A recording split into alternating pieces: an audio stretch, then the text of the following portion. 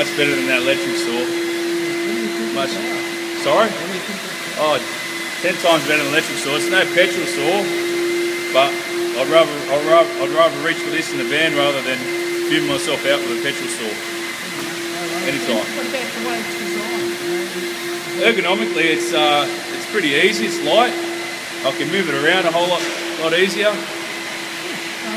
They're very powerful for electric saw. Thank you. All right.